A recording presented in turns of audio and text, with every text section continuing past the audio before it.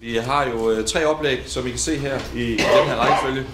Vi får plads til noget debat. Der bliver mulighed for at stille spørgsmål, og det synes jeg, I skal gøre ind i vores øh, app, som øh, I kan se navnet på her. Events i appen øh, under idrætsmødet og ind på den enkelte session, og der kan I stille spørgsmål ind. Så kommer vi til at lede og fordele spørgsmålene til de tre deltagere. Så er jeg i hvert fald sikker på, at vi når en masse. Så jeg ser frem til øh, spændende oplæg og en øh, god debat, så, øh, så velkommen her til, til den her. Øh, hvis vi får øh, program på igen, kan du klikke på den. Yes, så starter vi med øh, Andri fra, øh, fra Island, og øh, Else Marte kommer og fortæller om øh, øh, perspektiverne fra Norge, og så har vi øh, Anders fra øh, Team Danmark, som kommer til at give et dansk perspektiv på det her. Det er en stærk skrive, og det glæder vi os til. Velkommen, og øh, værsgo til dig, Andri. Ja, ma- mange tak. Når du starter med at sige, at vi har nogle rigtig gode oplægsholdere, så ved man ikke lige, hvad man skal sige, øh, inden jeg starter i hvert fald. Men øh, vi er i mange måder lidt anderledes i Island. Og øh, jeg tror, når vi snakker om talent, arbejde og talenter, så handler det ikke kun om øh, idrætten. Det handler ikke om kun at blive god til øh, teknik eller taktik. Vi skal skabe en, øh, en helhed i dem, vi arbejder med, fordi vi ved ikke, hvad de skal lave i fremtiden. Bliver det vores bedste atleter? Eller bliver det nogen, der kommer til at være formand i vores forbund eller klubber, eller styre opbygning i, i et eller andet? Så, øh, så hvis vi tænker på dem, vi har, så skal det gøres rigtig godt. Vi skal tænke på så mange ting. Før i tiden, så var det måske kun få ting, der skulle øh, tænkes på. Men i dag, så er det så meget, meget mere, som alle trænere og alle dem, der står for i idrætten, så skal tænke på. Og øh, vi har kigget en del i Island i det, der, der hedder Splits-model, hvor de grundlæggende ting ligger det nederst. Det skal være penge til at stå for idrætten, og det skal også være øh, organisation på det. Men den tredje del, det skal være en del af deltagere, som vi kan arbejde med, hvis vi skal få nogen op på toppen. Og langt løbende med, med det her, så har vi selvfølgelig på højsiden der talent development, eller hvordan vi tager talenten og bygger dem op til at være blandt de bedste.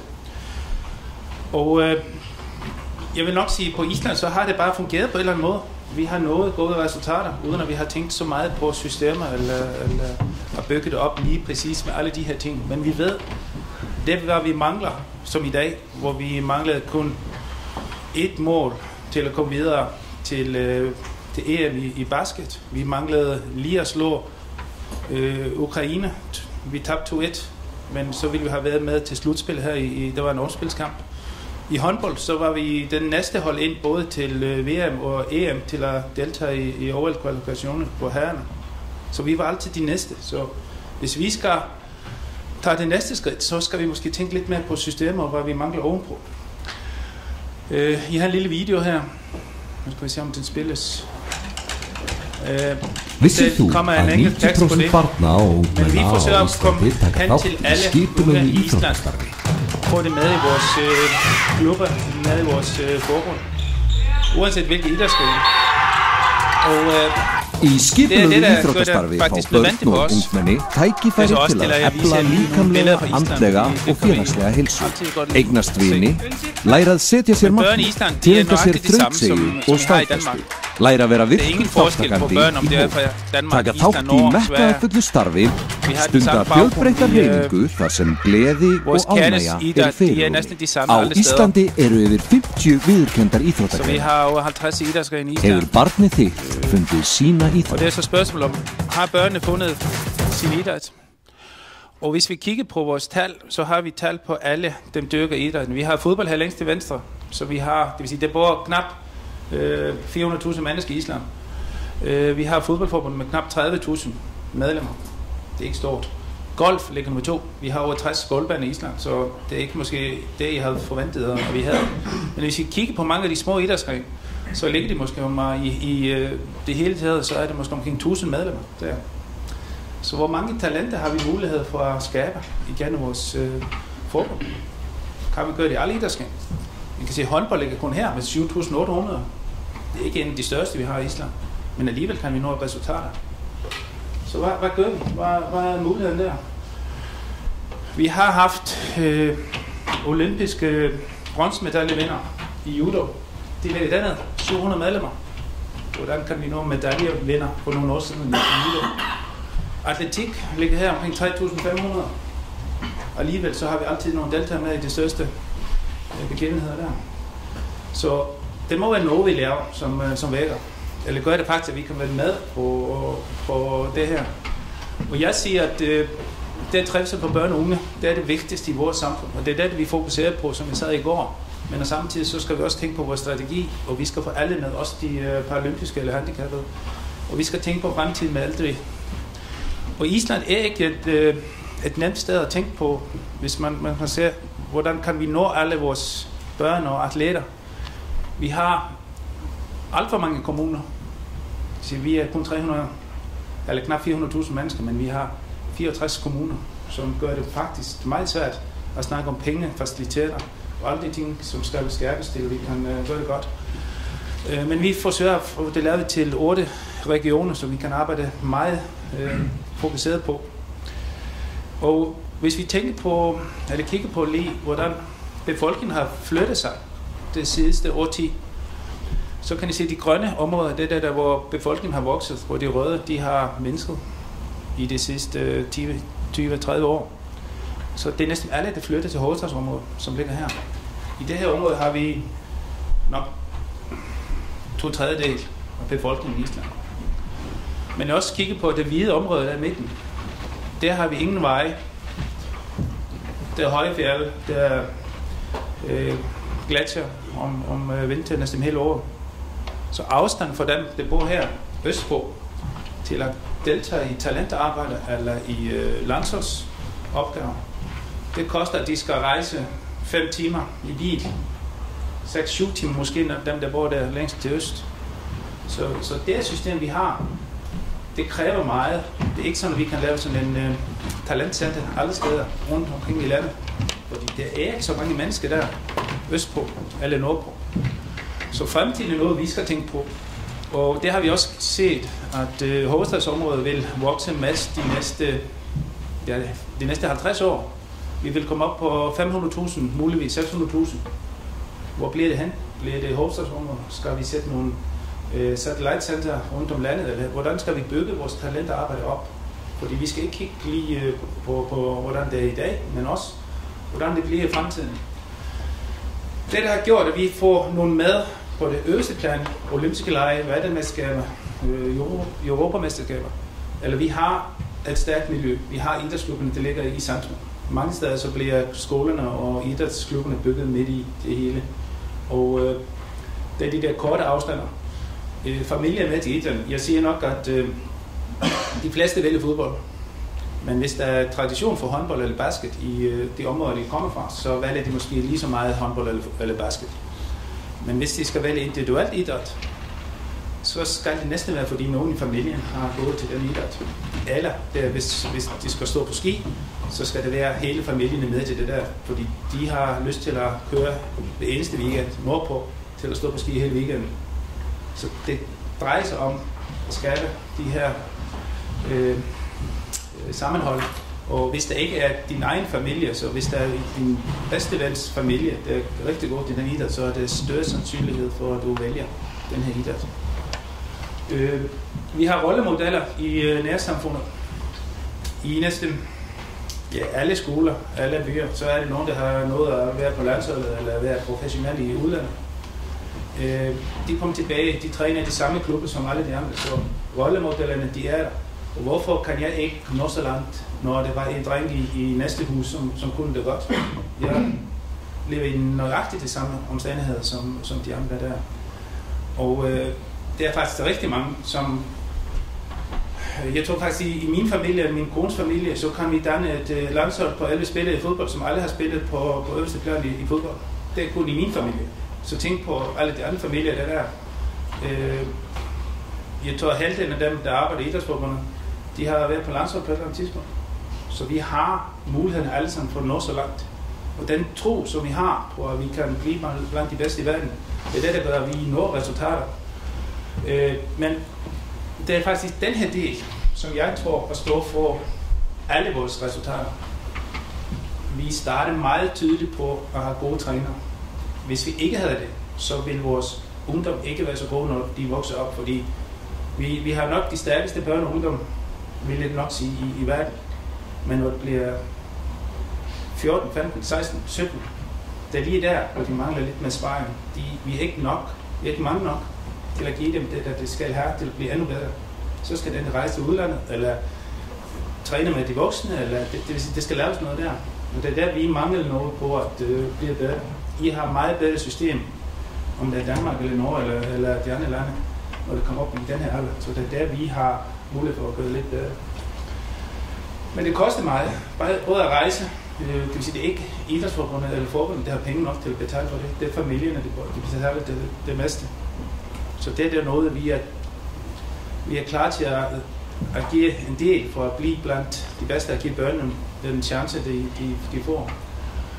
Og øh, vi har også noget, jeg frygter. Vi har ikke mange nok i nogle af Så hvordan bliver det i fremtiden? Har vi måske kun 5-6 idrætsgren i Island, som vi kan øh, arbejde med? Skal vi fokusere vores talentarbejde der?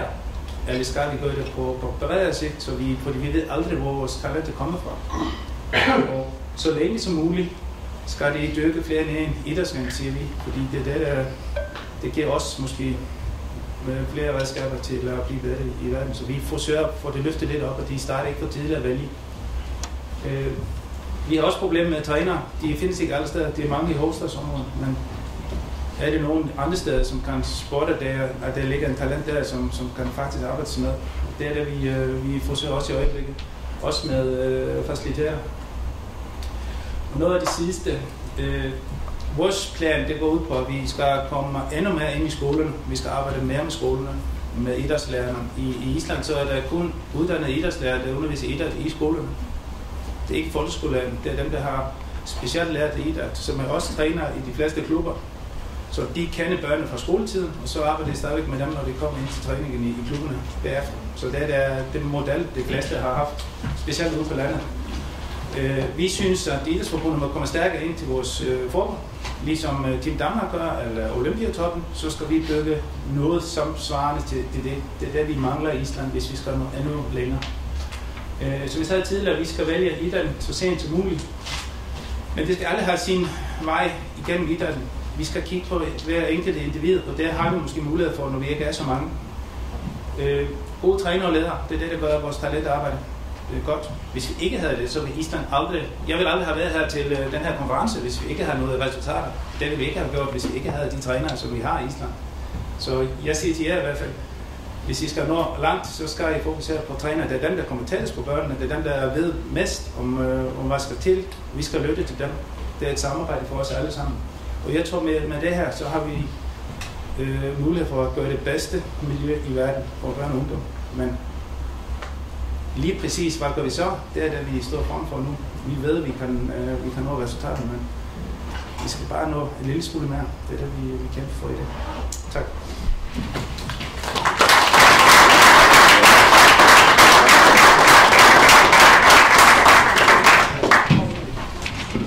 Tak skal du have, André. Jeg skal lige for god undskyld sige, at når vi øh, står med mikrofonen, så er det ikke fordi, I kan høre os nede på bagerste række. Det er simpelthen fordi, vi optager den her chance, så mange flere kan få de her input. Ikke sådan, I røde ud worldwide, men øh, vi øh, prøver at lave lidt vidensdeling øh, i forbindelse med det her. Og øh, med det vil jeg øh, byde velkommen til dig, Else Martin. En olympisk guldvinder. Det bliver du sikkert tit præsenteret som. Men øh, det er altid en fornøjelse at have, have sådan en i rummet. Så værsgo og velkommen. Mange tak kan jo starte med å takke Island da, for at de har så gode trenere. For jeg har hatt eh, uh, Torgeir Hergeirsson, den norske kvinnelandslagstrener, siden uh, 95. 95 var han min junior uh, U-landslagstrener, og senere på landsholdet. Og på mandag feiret vi hans eh, 60-årsdag, og han er still going i mange år til, håper vi, i Norge. Um, ja, jeg sa jo litt i går om den norske idrettsmodellen, og det her bygger jo litt videre på det. Um, jeg har jo, Nå jobber jeg jo i Idrettsforbundet som eh, assisterende generalsekretær, men jeg har også jobba i Olympiatoppen, som er en del av Idrettsforbundet. Så det er fremdeles under vår paraply. Så toppidrett er veldig godt integrert i, eh, i den norske modellen. Og det her er jo strategien for norsk idrett. Eh, idrettsglede for alle. De samme verdiene. overordnede målene er å skape livslang idrettsglede og flere store prestasjoner. Og så har vi noen innsatsområder, og ett av de er bedre toppidrett. Og det er det jeg skal snakke litt om i dag.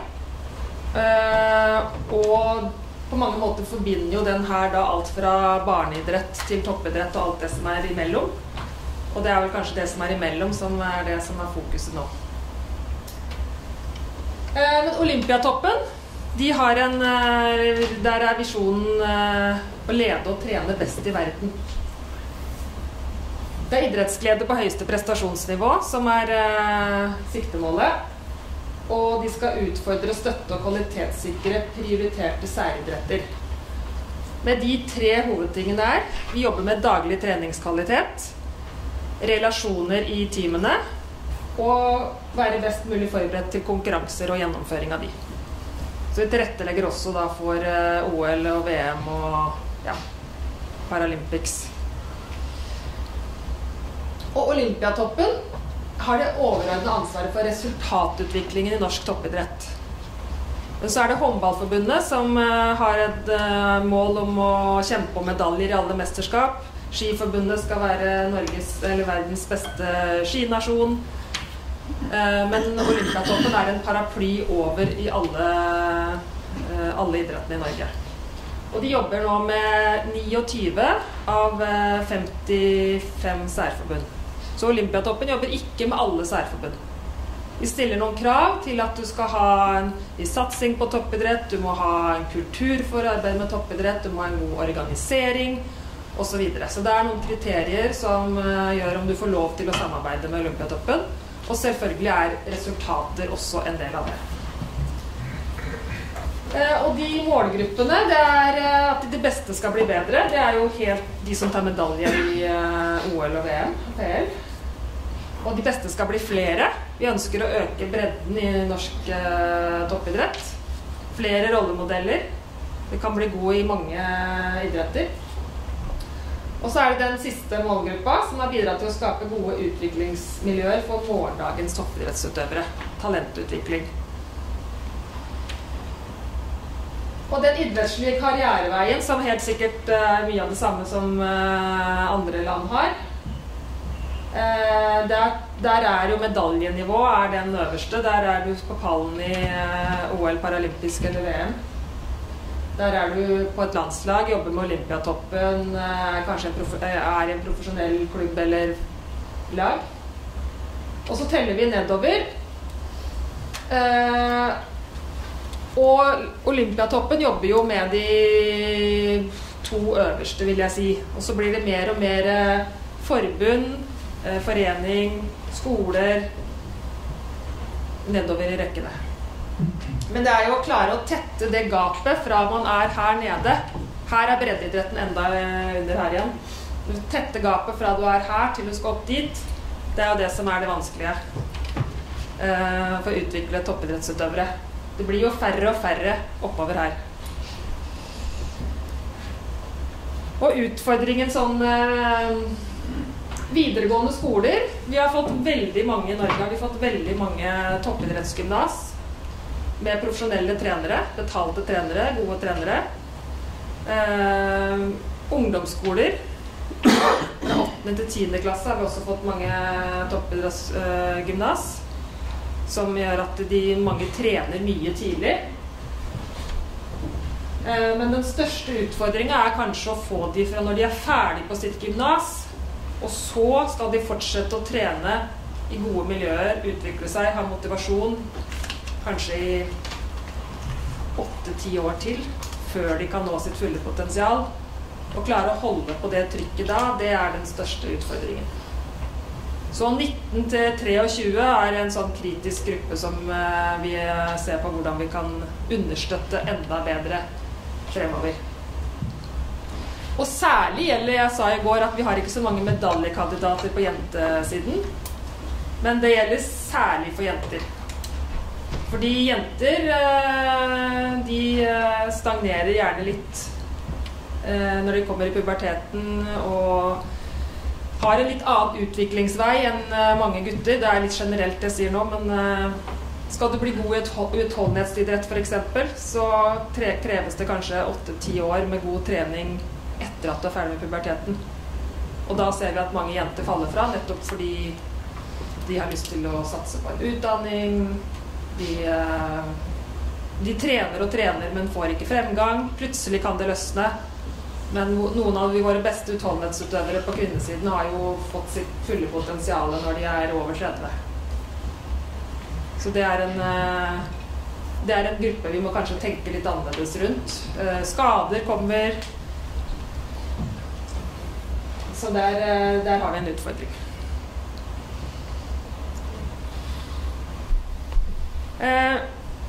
Men vi har en utviklingsstrategi i norsk toppidrett, og Olympiatoppen de har en utviklingsfilosofi som dere kan lese på olympiatoppen.no. Eh, de jobber jo, det er jo generelt som gjelder, kan gjelde for alle idretter. Men så må jo den enkelte særidrett ta det ned til sin fag, altså, i sine fagmiljøer og lage sine strategier for den enkelte idrett. Mens Olympiatoppen eh, ser det overordnede perspektivet. Hvordan bør man trene før, under og etter pubertet f.eks og noen strategier jeg skal komme, eller noen prinsipper jeg skal komme litt nærmere inn på. Um, men vi må også ikke glemme at vi må drive talentutvikling der folk bor. Og Norge er et uh, ganske langstrakt land. Uh, Olympiatoppen, her er jo Oslo her i uh, midten her. Mye skjer rundt sentralt på Østlandet. Men vi har også seks regioner i Olympiatoppen både sør, vest, midt og nord. Men eh, bor du i Nord-Norge, så har du eh, vanskeligere kår for å bli en toppidrettsutøver. Det kan jeg si. Eh, det er færre utøvere som blir toppidrettsutøvere i Nord-Norge. Det er vanskeligere å få både kompetansen og, og miljøene. Så det, det må vi bare innse at Østlandet, rundt Oslo, det er der det er best utviklingsmiljøer. Allikevel så ønsker vi jo at eh, de skal kunne eh, ha følge sine drømmer uansett hvor i landet de bor. Så Derfor så prøver vi å få spre kompetansen ut og ta vare på talentene der de er. Vi er litt flere mennesker enn eh, på Island, men vi har ganske god oversikt over talentene i de ulike miljøene.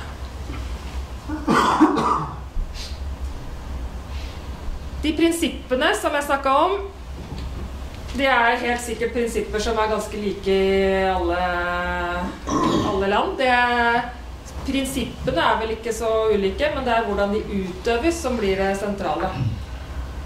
Klarer vi å være langsiktige nok, ikke tenke seleksjon for tidlig, der er det f.eks. veldig stor forskjell i Norge nå på fotball og håndball. Eh, hvor fotball velger ut tidligere og tidligere, mens håndball prøver å gå motsatt vei. Samtidig så ser vi at mange da velger fotballen fordi de allerede er inne i landsholdsskolen som 11-åring. Mens eh, håndball eh, kjører to landshold når de er 15 og vil ha flest mulig til å holde på lengst. Ehm, skape gode miljøer, sånn at de fortsetter å ha lyst til å trene og, og, utvikle seg. Utvikling på sitt nivå. At de skal læres opp til å ta ansvar for seg og sin egen utvikling. Det krever en god porsjon tålmodighet. Og det er ikke bare fra trenere, det er også fra utøverne selv, og ikke minst foreldre som er en uh, enda stor enda, en, en, gruppe som er uh, mer kravstor nå kanskje enn de var uh, for bare få år tilbake. Eh, og det at det er det utviklingsfokuset. Og det som André også snakka om, eh, he, utvikle hele mennesket, at vi tenker eh, helhetsorienterte miljøer.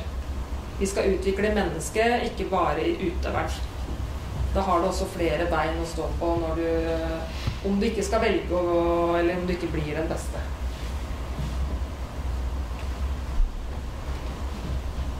Og det er lett i teorien det å si òg, men det er vanskeligere i praksis. Um, men nå er Olympiatoppen også veldig fokusert på det i sitt arbeid med de aller beste utøverne. At det, er, eh, det er, skal være utøverne i fokus.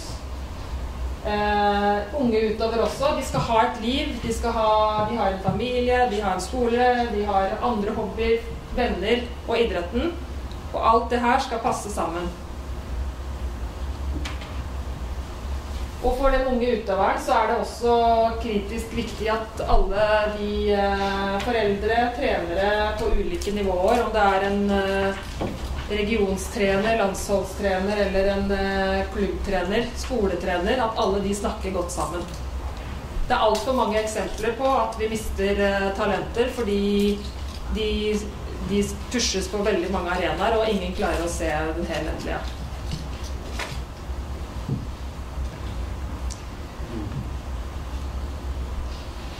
Eh, jeg skal ikke lese opp det her, men det viser noen eh, elementer utfordringer i utviklingsløpet, og noen dilemmaer som norsk eh, toppidrett også står overfor. Jeg har vært inne på en del av de. Det er alltid en avveining mellom kortsiktig gevinst, resultater, skal vinne den kampen, skal være med i det mesterskapet versus langsiktighet. Mm. Eh, det å ha fokus på et mestringsorientert miljø versus eh, eh, bare resultater. Skal du ha ansvar for din egen utvikling og ta konsekvensen av det, eller skal du overlate til treneren og foreldrene? At det er en masse dilemmaer i talentutvikling som gjerne må ned på papiret i en strategi, men det viktigste er at strategien blir omsatt i praksis.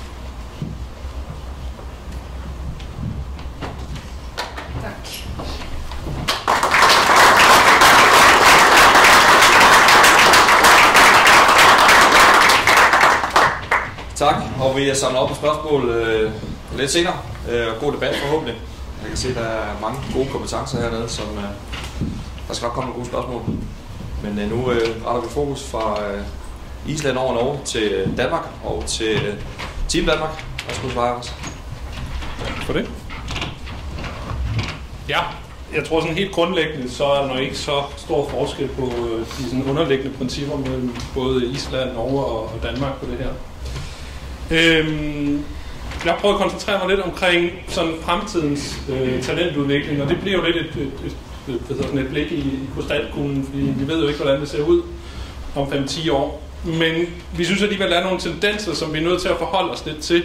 Og ligesom det tema, jeg har prøvet at, øh, at tage med i, øh, i dag, så vil jeg egentlig starte med lige at rise nogle ting op omkring de her tendenser, og så vil jeg prøve at fortælle lidt om de mulige løsninger, vi ser, der kunne være på, øh, på det her. Øh, nogle af jer har måske set, at vi har brugt del tid på at kigge på det her med generationer i sin Danmark. Øh, specielt at dem, der i øjeblikket er i talentudvikling, det er jo dem, der er generation Z, som er født her efter 94. Dem, der typisk er trænere, det er jo generation X, og til del også øh, generation Y. Og øh, der er nogle sådan ret distinkte forskelle men, mellem, hvordan man går til øh, livet som X, Y, Z osv. Øh, men jeg lige prøver at løbe igennem hurtigt nogle af de karakteristika, der er ved Generation Z, som jeg synes er vigtigt at forholde sig til, når vi tænker over, at det er faktisk er de atleter, vi skal arbejde med i de her år og, og fremover. Så hvem er de egentlig? De er opdraget til ligeværd først og fremmest. De er opdraget til at have inddragelse i rigtig mange af livets beslutninger, om det er ved spisebordet derhjemme, mor og far, øh, hvilken farve bilen skal have osv. osv. Så der er en større forventning om at blive inddraget i deres talentudvikling end vi ser måske i hvert fald min generation, som var meget følt træneren som den alvidende. De vil også gerne vinde, men medaljer, det skal ikke være det eneste, som der er det. De kan være enormt motiveret for at, at, at vinde øh, på det her område, men hvis det er på bekostning af nogle andre ting, så er det måske ikke det værd for generation Z. De er jo meget borget af værdier, og hvis ikke værdierne øh, flugter med det at gå vejen, talent, elite, tage medaljerne, så risikerer vi også, at de vælger at sige, at vi skal måske en anden vej. Og det fører mig lidt over til, at de er optaget af balance. De er optaget af, at de forskellige arenaer, de er i, at de også skal balanceres. Og igen, for at tage min egen generation, der handlede det jo meget om, at man skulle lægge alt på et bræt 100% ind, og hvis ikke du gik 100% ind i det, jamen så nåede du ikke nogen vegne. Og det kan godt blive igen blive lidt udfordret af den her generation, hvis vi fortæller dem det, at den eneste vej frem, det er den, der hedder gå 100% ind i det. Nej, der er også nogle andre ting, som de værdsætter i deres liv, og som de synes er vigtige for at, at finde den her øh, balance. Og så sætter de stor pris på bæredygtighed, øh, selvfølgelig i en klimakontekst, men det her er mindst lige så høj grad tænkt i sådan en bæredygtighedskontekst af, af livsforløb. Det skal være bæredygtigt for dem at være i det. Det er ikke noget, hvor de ønsker at gøre noget, de egentlig ikke har lyst til i en kort periode. Nej, der skal være en langsigtet bæredygtighed i det, som de, øh, de arbejder med. Og det vil også sige, at de skal kunne se målet i det, de arbejder med som øh, talenter, før de egentlig ønsker at, at gå, gå, gå ind i det. Så vi kan ikke nødvendigvis for, øh, bare øh, have den forudsætning eller forventning, at de bare går 100% efter det. Og så er der også det her med værdien af diversitet og inklusion. De er jo også vokset op i en kultur, hvor det er fuldt rigtig meget. Det fylder rigtig meget for unge mennesker. Og så samtidig så sætter vi dem ind i et idrætssystem, og talentudviklingssystem, hvor selektion og nogen er bedre end andre, og nogen kan noget, og nogen kan ikke, kan ikke noget i lige så høj grad. Det er noget, vi sætter meget hårdt frem foran dem. Og det er ikke sikkert, at de vil acceptere det på samme måde, som man måske tidligere har gjort de her ting. Og så det her med at gøre en positiv forskel, fordi de er jo enormt engageret i det, det, det de laver, de her unge mennesker. Øh, og et rigtig godt eksempel, det er, at øh, vi lancerede jo her sidste år et mentorprogram i Team Danmark, hvor øh, erfarne atleter kunne være mentorer for yngre atleter. Umiddelbart skulle man tro, at det var svært at få fat i de her mentorer, men det har faktisk vist sig, at det er dem, der var nemmere at få fat i, end de unge mennesker, som skal være mentees i det her. Der er faktisk rigtig, rigtig mange rigtig dygtige, erfarne atleter, som gerne vil være med. Vi har flere mentorer, end vi havde mentees, der meldte sig til det her program. Heldigvis er det nok til, at vi har et fint program udrullet. Men det er ret tydeligt, at de gerne vil gøre en forskel. Og jeg tror måske et af de sådan, eksempler, jeg husker selv meget tydeligt, er Jonas Lindberg, en mountainbiker, som gudsbenået talent, men på et tidspunkt ikke rigtig kunne finde glæden i det, men gik tilbage og sagde, prøv at høre, jeg vil tænke, gengæld gerne arbejde med unge mennesker, være klubtræner ved alt det her. Der er ingen tvivl om, at han rent sådan fysiologisk havde de ting, der skulle til, men han har også været meget tydelig bagefter om, at der skulle mere til for ham, og det finder han blandt andet i det ved at være ungdomstræner den dag i dag. Så det her med at gøre en positiv forskel, det er noget, vi, vi også oplever. Og så lider de jo sådan overordnet set hele den her generation af, af, af dårlig mental sundhed. Øhm, det betyder jo sådan set ikke, at, at, øh, at de er for skrøbelige til, at vi må stille krav. Vi må meget gerne stille krav til dem. øh, så når de oplever, at et projekt det er meningsfuldt, og de også selv er med til at definere rammerne, jamen så er der ikke nogen grænse for, hvor vedholdende de, øh, de kan være på det. Men vi er nødt til at tage hensyn til, at det også er en generation, hvor de her ting fylder rigtig meget.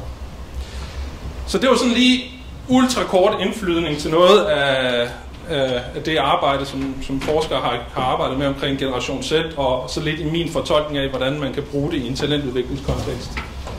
Fordi så vil jeg bruge over til, hvor efterlader det så egentlig dansk talentudvikling, og med særlig fokus på, hvad det er, vi i Team Danmark vil, vil prøve at sætte i søen her i vores 25-28-strategi. Øh, Trænerrollen, den tror vi kommer til at ændre sig ganske, ganske meget. Og der vil jeg lige huske at skælne mellem, at vi har jo stadig en masse frivillige trænere, som er derude og både laver den tidlige del af talentudviklingen, så rettelægger den, og er brede træner osv., den tror vi stadig og håber, og har jo høj grad behov for, at den fortsætter i, øh, med ja, måske endnu større styrke, end den er i dag. Men vi tror, når vi kommer længere op i den sene del af talentudviklingen, op i eliten, at så ændrer trænerrollen sig fra det, vi ser i dag.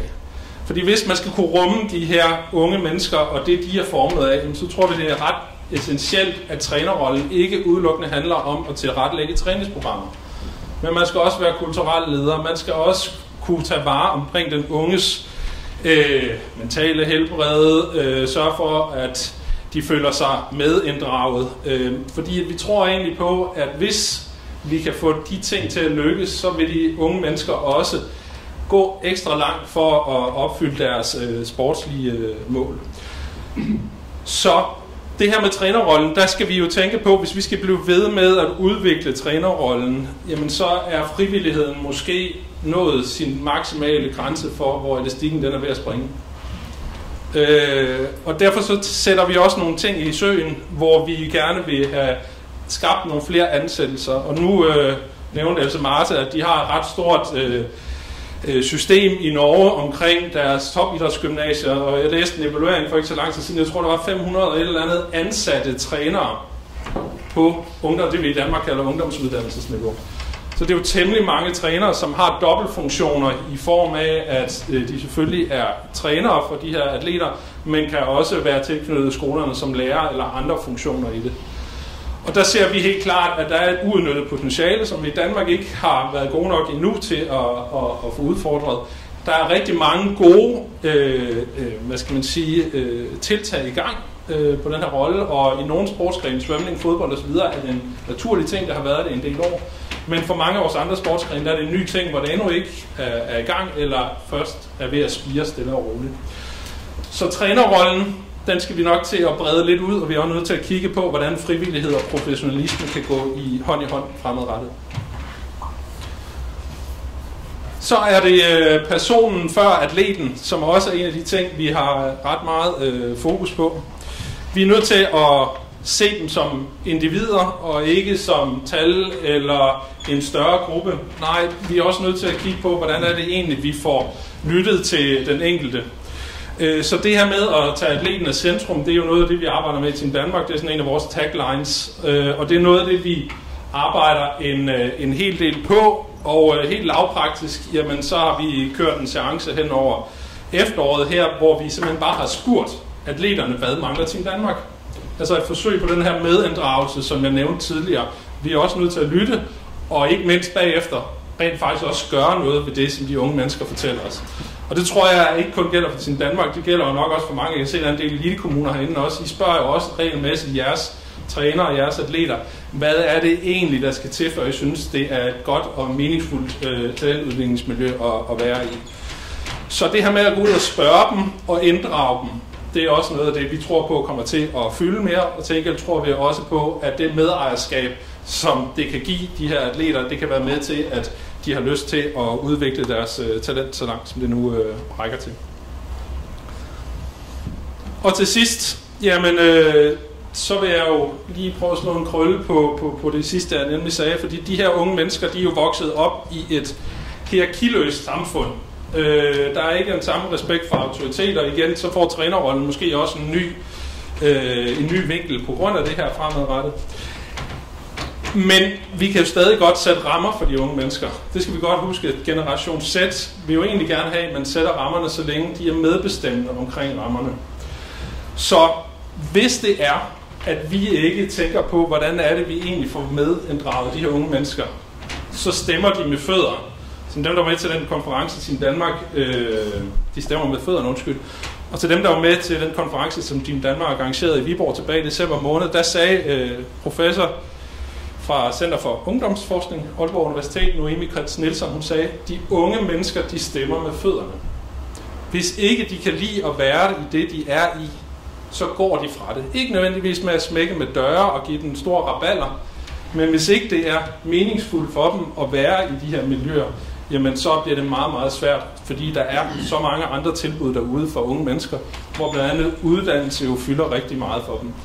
Så derfor så tror vi også, at det her omkring øh, medbestemmelse, det er også noget af det, vi er nødt til at forholde os til fremadrettet. Så i sidste ende, så handler det også om noget af det, som vi har hørt fra, øh, fra Else Marte også, at det er mennesker og medaljer, hvis vi skal tro på, at vi øh, kan lykkes med det øh, fremadrettet. Tak.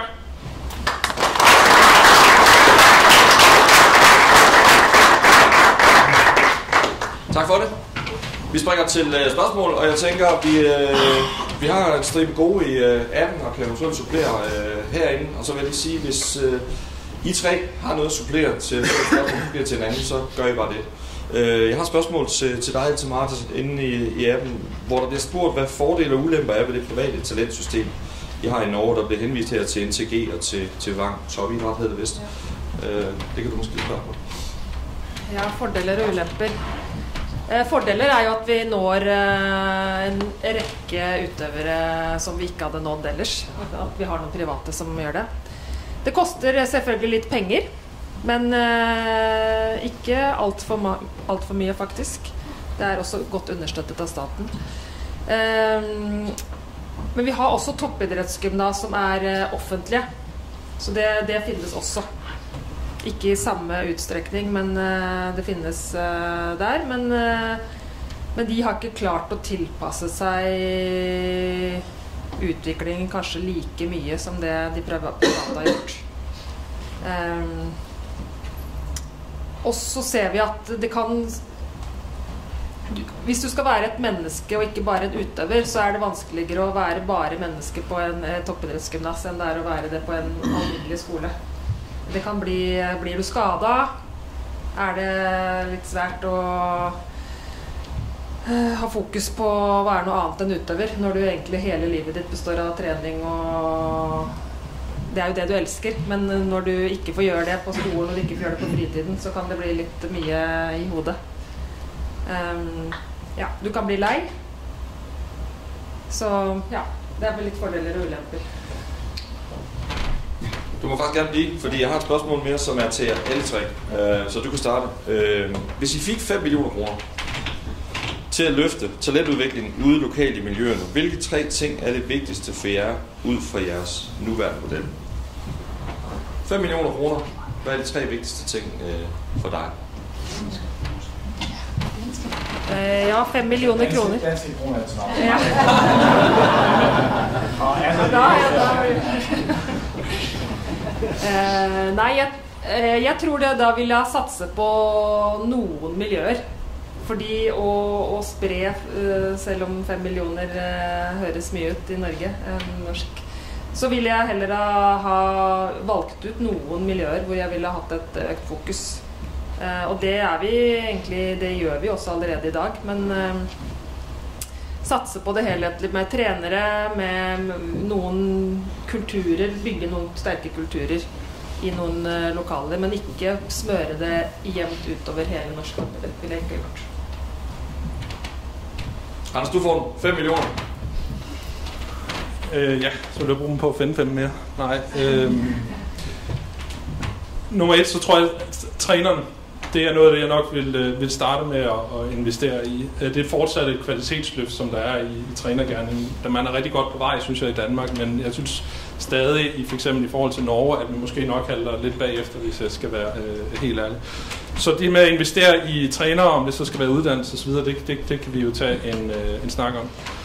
Og så nummer to, så synes jeg egentlig, at vi i Danmark måske også øh, skal kigge lidt mere specielt på vores øh, ungdomsuddannelse og øh, overgangen til, til senior, sådan den sene del af talentudviklingen. Vi har ret veludviklet øh, talent- og sportsklasser både i og uden for Team Danmark i lille kommuner. Øh, og da vi var i Norge her for lidt for et år eller to siden, øh, det første de siger til os, det er, hvorfor bruger I så meget energi på 7., 8. 9. klasse? Og så lidt energi på ungdomsuddannelse. Og det kan jeg godt følge, øh, følge dem i. Jeg synes, at vi, vi gør det rigtig godt i tidlig del øh, i talentudviklingen, men jeg synes I, også, at vi har mulighed for forbedring i den sene del, og specielt transitionen over i, øh, i senior. Så det var lige to. Den sidste, den må jeg lige tænke over. De tre. Ja, tak. Jeg tror, vi får aldrig 5 millioner i Island til noget som helst, så jeg ved ikke, lige, øh, hvad vi skal. Men trænerne, de er nummer et. Garanteret. Jeg vil, øh, vi har mange, som, øh, som arbejder flere forskellige steder, som kan ikke fokusere på, på trænerjobben fuldtid, eller de kan ikke være til steder, hvor, hvor de aktive mangler dem. De skal altid vente til øh, sidst på dagen eller sådan noget også, øh, uanset om de er lønnet eller ikke, så har de måske også et, et hårdt arbejde, så jeg vil måske fokusere på at få flere af dem til at fokusere 100% på, på trænerjobbet. Men der er to andre ting, som jeg tror, vi vil øh, fokusere på. Det er den mentale træning til, øh, til unge, fordi jeg tror, det mangler i dag garanteret, så er det noget, at vi, øh, vi frygter lidt for den der nye generation, hvordan kommer den til at stå i, i fremtiden. Og så er det øh, kostvaner til, øh, til de unge også. Jeg synes alt for mange, de uh, drikker energidrinker for meget, de, uh, de tænker ikke så meget på sin, uh, sin helbred. Uh, lige en ting, jeg vil måske tilføje, som, uh, som jeg kom til at tænke over uh, lige før. Det er ikke for så lang tid siden, jeg lyttede i, i radioen i Island til uh, en, der snakkede om uh, skærmbrug af de unge deres syn ændrer sig, fordi de er så meget her. Så de måske har ikke den øh, langsigtede syn, som, øh, som den, den vokser ikke som, som den skulle. Så tænkte jeg, okay, hvad betyder det for idræt? Jeg kan øh, tænke på håndboldspillere som Olaf Stefansson, som har været en af de bedste i verden. Jeg tror faktisk, at hans syn er meget bedre end øh, de, de fleste. Det samme med fodbold med Lionel Messi. Øh, de ser noget, som de andre kan ikke se ånden til det bredere end de andre, eller de kan, de kan gøre noget, som og de bedste spillere, eller de bedste aktiver i, i, i verden i idrætten, de har noget x-faktor, som de andre ikke har. Så hvad sker, hvis vores syn bliver værre for de unge? For de syn er ikke kun... Øh, den er forbundet, øh, forbundet med så mange andre ting. Motorik, balance, det har med syn at gøre også. Så hvis vi ikke træner, at synen bliver så god som, som muligt, som det var tidligere, så kan det risikere, at vi bliver måske ikke så godt i den. Så det er sådan lige en punkt, som vi skal tænke på som, uh, i forbindelse med talent. Du kan faktisk gerne blive andre. Jeg har et spørgsmål med til dig. Du får næsten til at lyde som om 5 millioner, det løfter BNP på Island. Uh, I kunne faktisk give en 30 kroner til hele befolkningen, og sådan noget, tror jeg. Ja, ja. ja. Øh, men øh, det her øh, spørgsmål er omkring øh, jeres model med tilskud på 5.000 kroner til alle unge i en klub. Øh, er det afgørende for jeres stærke klubber for at skabe kvalitet? Ja, det giver faktisk, øh, det, det, det vil sige, kontingent til idræt i Island, hvor de unge betaler børn og unge, det er højt. Det, men det er også fordi, vi har lønnede trænere. Så kommunerne de kommer derind og hjælper, fordi det er ikke alle familier. Det skal ikke være uafhængigt om, øh, om familien har penge nok, at du kan træne idræt i Island. Det koster alle idrætsgrene. Det koster højt. Eller det koster meget. Så hvis vi ikke havde det der, så, så tror jeg i hvert fald i hovedstadsområdet, det, det er mest i hovedstadsområdet, det, det foregår på den måde, så, så ville det være svært, men vi kunne også mærke, at når, når det startede den der kontingent øh, øh, betaling for, fra kommunerne, så voksede også øh, prisen, fordi lige pludselig så var det penge til at give lidt mere i løn, eller, eller gå lidt med eller bedre, så overhænge om, om det eller ikke, så, så hjælper det har spørgsmål til øh, dig, til Martin. Øh, når nu Olympiatoppen har så stor resultatperspektiv og fokus, hvordan understøtter I sådan specifikke talentudvikling i særidrætter? Mm, ja. Særidretten har jo ansvar for sin egen talentutvikling, eh, så vi understøtter egentlig mer på generelt grunnlag, ikke, ikke så mye spesifikt. Eh, vi har, en, vi har, fagressurser som kan bidra inn og, og sparre, men det er idrettene selv som må ta på talentutvikling. Så er det de som har det overordnede ansvaret. Eh, og hadde vi også hatt mer ressurser, så kunne vi ha brukt mer ressurser på de yngre. Men eh, vi prioriterer ganske tøft på de aller beste, de som skal til OL og Paralympics. Så det blir litt mindre igjen til de nedover. Men det er samtidig viktig å kunne ha to tanker i hodet på en gang. For eh, hvis du ikke jobber, gjør en god jobb med talentene i dag, så har vi et problem med, om ti år. kommer flere spørgsmål fra appen, og der er lige et enkelt hernede, som uh, vi lige få. Nå, men det er til den islandske model. Jeg har lige et opfølgende spørgsmål. Øh, du, du nævner fint, at øh, I er virkelig har investeret med trænere for de unge, og, og, og set udefra, så gør I et fantastisk arbejde med talentudvikling og, og, og kommer bredt omkring. Øh, modsat, så, så nævner du også, at I mangler måske træner til at fokusere på, når de bliver ældre og, og transition over til, til senior.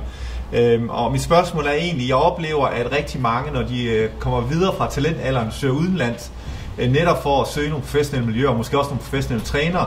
Og mit spørgsmål er egentlig, om det er en bevidst model for jer, eller om det er noget, I siger, så må det bare være, når vi ikke kan, og vi håbede på, at vi kunne holde nogle flere på øen. Øh, eksempelvis øh, i øh, poster vel lige så mange atleter i det amerikanske college-system, som nærmest hele Danmark gør hver eneste år, øh, fordi at de søger ud, når de når et vist niveau. Hvad er dine øh, sådan, betragtninger på det? Det var for dansk atletik, så der kommer lige en øh, 10 minutter løb her til dig her. Jeg faktisk tror, at øh, vi, vi er nødvend, det er nødvendighed i Island, at vi gør det på den måde. I, I atletik så er det klart, det der vi, øh, vi øh, sigter på, fordi øh, vi har haft mange tidligere, som har været olymp, øh, olympiske deltagere, som, som har studeret i USA. I, i svømning har vi vores bedste kvindelige svømmer, som bor her i Aalborg. Vi har i, i, øh, i skiidrætten, så er de fleste, som har gået langt der, de har boet i, i Norge. De har taget ud til øh, gymnasiet i Norge og, og studeret der.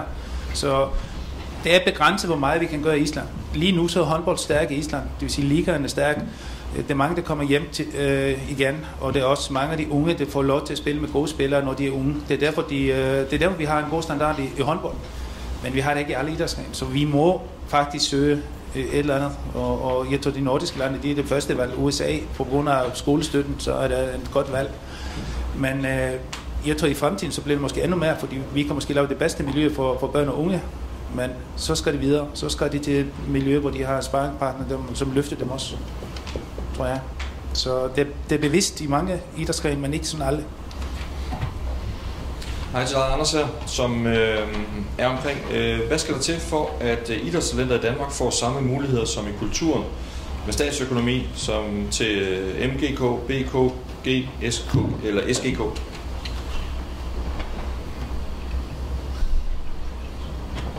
Øh, ja. Det ved jeg ikke øh, og det, det, det, det skyldes nok mest af alt med sådan, øh, kun overfladisk øh, kendskab til, til, til, til de ordninger der. Så det bliver lidt svært på mig faktisk at give et, øh, et fyldesgørende svar på. Men som jeg hører dig stille spørgsmålet, så mener at man er bedre stillet som kulturelt øh, orienteret talent. Er det, der står? Fordi det er jo lidt sjovt, fordi jeg oplever lidt, at der er mange, der øh, siger, at sporten er bedre stillet. Ja, får samme muligheder. Så ja. mindre der er en, der vil uddybe, så må det skal stille ind i. Ja, ja okay. Det vil jeg gerne. Ja, ja, lad os få det. Jeg kommer til at stå som anonym. Ja, det er fint. Det kan jeg jo ikke finde ud af. Nej. Anders, øh, det er jo fordi, at der er de her forskellige øh, musikalske grundkursus og billedkunstgrundkursus osv., ja. hvor, hvor det er på ungdomsuddannelsen, så får man en støtte på 90.000 per elev per år. Øh, hvad, hvad kan det gøre for sporten, hvis man kunne få samme muligheder? Mm. Øh, altså, der er ingen tvivl om, at vi har et, øh, et ressource efterslæb, om man vil, når vi snakker ungdomsuddannelse, når vi snakker øh, den øh, aldersgruppe her, specielt hvor vi ved, at de også er ret sårbare i forhold til transitionen ind i, i livet. Øh, så der er ingen tvivl om, at hvis man kunne, og hvordan man skal gøre det, det tør jeg simpelthen ikke sige, for det er ikke beskæftiget mig med. Øh, det, det er der nogle andre inde hos os, der er med til at prøve at finde den her finansiering. Men jeg er ret sikker på, at vi er nødt til at kigge på en mere individualiseret tilbud, når vi snakker den allerseneste del af talentudviklingen, hvor vi kigger på de enkelte atleter og deres behov i forhold til, hvad det er, der skal til for, at de kommer hen. Så skal jeg gerne, altså, jeg ser det ofte som lidt som sådan en pyramideform, at vi starter med det brede i den tidlige del af talentudviklingen, hvor rigtig mange er med, og alle de her ting, som vi jo gerne vil i den danske model. Men vi er også nødt til at, at, at se på, at når vi nærmer os der, hvor vi har en svær øh, transition, så skal vi være meget mere målrettet, end vi måske er i dag på det. Og der tror jeg, at det der med at få bundet noget økonomi, nogle midler osv. til den her gruppe, er noget af det, der vil kunne løfte os, så vi kan undgå, at vi får det her frafald, altså, som vi også hører, de har op i, i Norge, at vi er bedre til at egentlig understøtte det. Hvordan vi skaffer penge, den vil jeg nok lige stå over på, øh, men jeg er ret sikker på, at rent fagligt, så har vi noget at gøre på, på, på, på den front der, for jeg føler, at vi er lidt udsat, specielt når vi kigger til Sverige og Norge, som er noget længere fremme på den. Du får lidt hurtigt mere, så bliver der også mulighed for bare lidt for salen.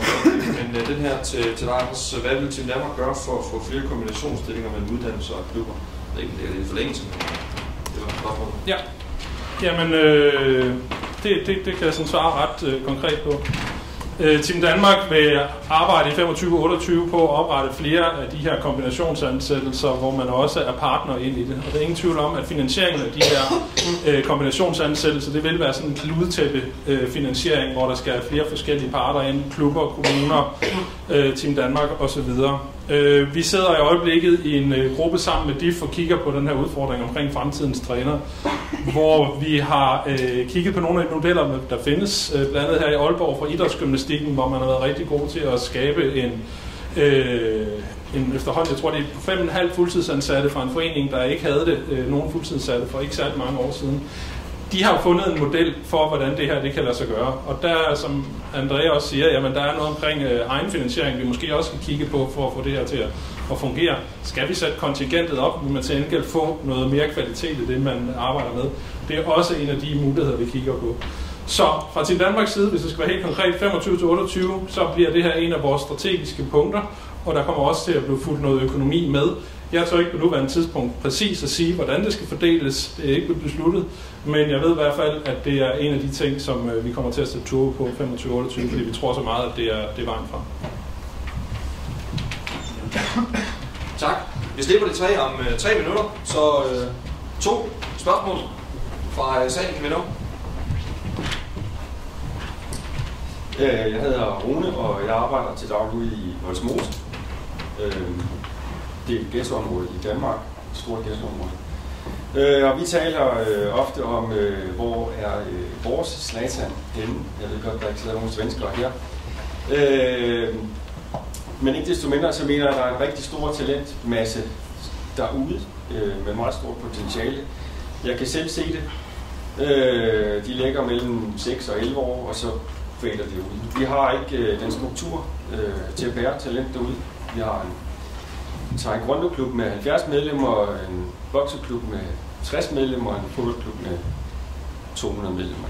Det er stort set det øh, i et område, hvor vi tidligere var 10.000 derude. Vi er lidt færre nu på grund af nedrivninger, men, øh, men kunne man ikke... Men hvad gør, øh, hvad, hvad gør I der i forhold til, at... Øh, altså, jeg mener, jeg mener faktisk, der er så meget potentiale, og, og vi har jo heller ikke nogen... Øh, hvad hedder de... Øh, vi, vi, vi kan ikke skabe nogen idealer derude, fordi vi, så det bliver hele tiden sådan en, øh, en, øh, hvad skal vi sige, en dårlig situation. Vi kan simpelthen ikke, vi kommer ikke ud af stedet, vi får ikke nogen slagtand. Det gør vi ikke, og det gør vi går drømmer om det, men det er en, en, en romantisk vilfarelse at tro, at vi gør det, mindre der er nogen, der går ind op fra og laver et eller andet. Og det tænker jeg, det kunne, det kunne man godt have som strategisk øh, perspektiv. Er der nogen af jer, der svarer på den? Starten kom ud af Rosengård området i Malmø og har sådan en fodboldbane derovre. Det gik jo meget godt. Det lykkedes ikke i vores mose. Hvad gør man i ghettoområdet? Og, altså det, det rimer lidt på det her med 11 år, som jeg hørte, at I siger, du siger det i hvert fald andet der, dag, der kommer et tidspunkt, siger du 12-13 år, der er i hvert fald, I kender til et tidspunkt, hvor det er svært at fastholde. Og her er så ghetto-området, øh, men måske nogle andre udfordringer også. Jeg kan måske tage der jo så også øh, en anden ting, som, øh, som jeg vil komme tilbage til. Øh, vi står frem for i dag i Island. Vi får, jeg tror vi har 20 procent, der har en, en, øh, en anden baggrund end, end islandsk i, i øjeblikket. Det har vi ikke haft før. Så vi, øh, vi står nu foran det at øh, finde ud af, okay, hvordan kan vi få dem mere aktive i idrætten. De er ikke så aktive som de andre. Øh, det, det, som vi skal arbejde med, det er at få nogle øh, stærke ledere. Vi skal få nogle fra dem, øh, fra de samme lande, de vil komme ind som almindelige træner, som alle de andre træner i Island, som bliver som lønnet træner inden i systemet, som, som kan faktisk øh, trække dem med på en eller anden måde. Stærke ledere, stærke trænere, det er det, vi mangler i de her miljøer. Jeg ved ikke, hvordan øh, det kan lykkes at få det ind, men, men øh, hvis de ikke er til stede, hvis det er ikke dem, der holder på, på de aktive, så, så kan ingen gøre det. Det, er ikke, øh, det kan ikke det Team Danmark, tror jeg. Det skal være nogen, der kommer indenfra, som, som bliver sådan tårholderen i, i det hele. Øh, og det er det eneste måde at gøre det på. Men hvis I husker billedet, som Anders havde før, med de fire generationer, med baby boomers og X og Y og, og Z, så tror jeg faktisk, at det er det største udfordring, vi har i idrætten, fordi vores system, det er tegnet op omkring baby boomers og den der X-generation. Og det er os, der, som har lavet reglerne, hvordan vi har bygget idrætten op, hvordan den har vokset i de sidste år 10. Og øh, vi, øh, vi kan godt finde os i det her system, men lige pludselig så har vi en ny generation, som er ikke vokset op i det her system, som, som har nogle andre tanker. Og hvordan kan vi lave vores system om? Fordi vi har stadigvæk alle de andre, som er med i systemet. De skal stadigvæk have plads til sig selv. Vi kan ikke bare lave systemet om, kun på grund af dem, vi får ind, men vi skal gøre en blanding. Og det er det, det sværeste i det, fordi hvordan kan vi beholde alle de gode ting, vi har, men på det samme tid, så skal vi lave det hele om, så vi kan fastholde dem, der er vokset nu i, i systemet og specielt med talentudvikling, fordi øh, den skal tænkes helt anderledes, end, end vi har gjort tidligere. Så hvis, øh, hvis der er noget, jeg vil øh, sådan slutte med, i hvert fald fra min side, så er det øh, det, jeg tror, vi, vi står frem for nu, øh, noget vi ikke har stået frem for før. Og det er chancen nu til at, at, at gøre det rigtigt på, på en eller anden måde. Men øh, det er ingen af os, som har prøvet det. Det er ingen, som har løsningen. Men vi snakker om, hvad vi tænker os at gøre de næste par år. Og det bliver spændende at se om nogle få år, hvad har lykkes, hvordan har vi nået at, at tage det lidt videre. Tusind tak. Og øh, dermed, jeg kan jo lige sige, at øh, netop taekwondo og, og boksning er faktisk to sportsgrene, vi lykkes med at få øh, lægger, også til OL og, og, og VM og så videre, så måske er der håb derude. Men jeg vil sige øh, tak til jer, øh, ikke mindst til jer. Tak for at komme her og videstille på tværs i, øh, i Norden. Meget, meget inspirerende. Tak for det arbejde, I gør for at løfte. Og så er det jo også sådan, at når vi er slået ud respektivt af OL og VM, så holder vi jo med hinanden, og så er det jo Norden mod resten af verden. Så også der kan vi jo gå herfra med højt humør. Tusind tak for, for jeres kontakt.